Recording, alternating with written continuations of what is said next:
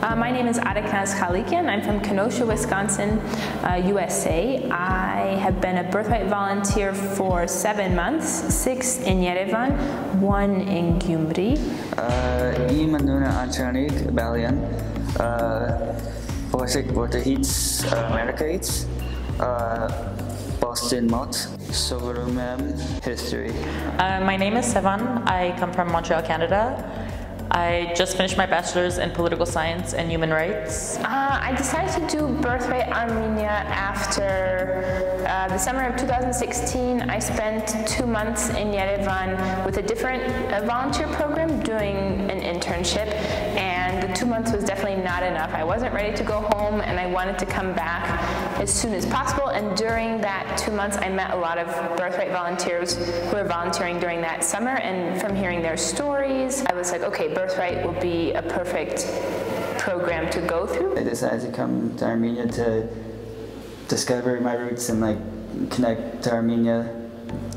My brother suggested it back in April and I knew I was finishing my bachelor's in, well, the past December and I didn't know what I was going to do after, whether I was going to continue school or just start work. So I said, why not go to Armenia and see what I can do there. I decided to come to Gyumri because I wanted to see life outside of Yerevan. I know that mm, Yerevan is just one part of Armenia and most of the time when you leave you get a totally different experience. And so I wanted to get a better idea of what that was. And I had been to Gyumri two or three times on excursions or to visit friends but only for a short time. So I wanted to see more okay what is it like to live there? I wanted to come to like Gyumri because it's like smaller and like it's like it's nicer. It's more like everyone knows each other. And everyone around me was like, "What on earth is Gyumri? Where are you going? Like we're sending you off to a city no one knows." But I figured it seemed like a cool opportunity. I saw some pictures, some past volunteers that posted stuff, and it piqued my curiosity. You're definitely immersed. You learn the language a lot better. I've met a lot of new people and in helping them with their translations so that they can be more worldwide. If I'm working one place, someone else will come from a completely different organization, ask me for help on something else, I'll end up helping them. So when you're working in Gyumri, because it's so tight-knit, um, you're not just helping that one organization, you're kind of helping anyone who needs it, and I think that's amazing. But I also have to say that they've helped me a lot.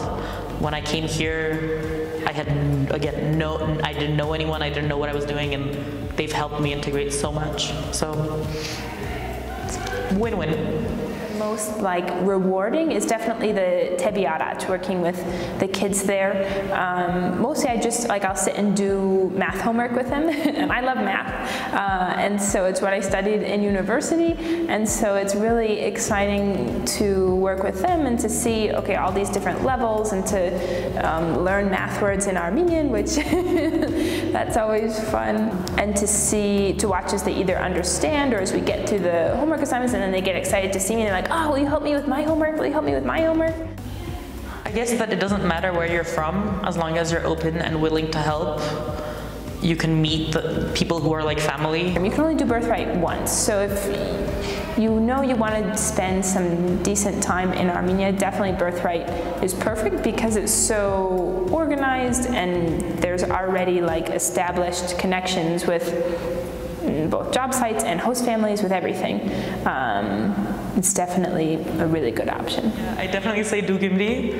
Um, try it out, even if it's just for a month. It will definitely increase your likelihoods of loving your experience. It will add so much to your life, and yeah, Gyumri, forever and always. Just do it.